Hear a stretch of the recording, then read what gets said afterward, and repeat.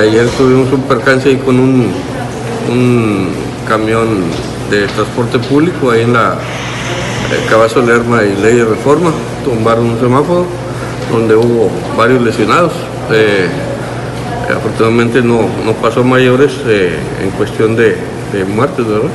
Pero este, estamos al, al 100%, está una persona detenida, se van a hacer cargo ahí el- eh, los del sindicato de Fután. Eh, hoy se empieza a reparar ese semáforo.